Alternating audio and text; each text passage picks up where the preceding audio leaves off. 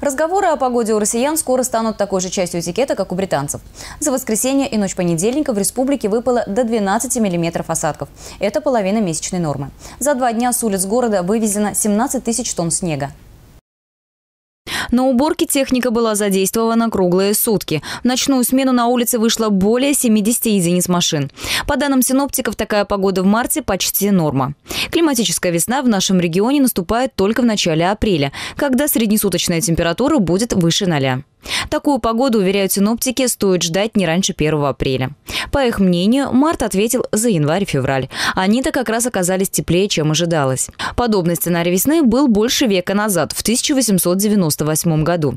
Сейчас метеорологи изучают предварительный прогноз по паводку. Пока данные говорят о том, что уровень половодья будет выше среднего. Возможен неблагоприятный сценарий.